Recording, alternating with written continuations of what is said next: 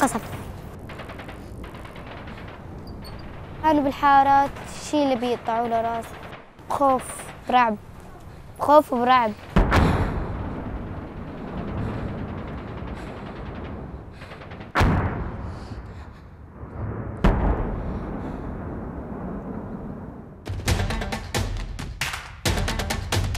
اثنين وسبعين. بعد ما أخلص الصلاة بقرأ شوي بالقرآن.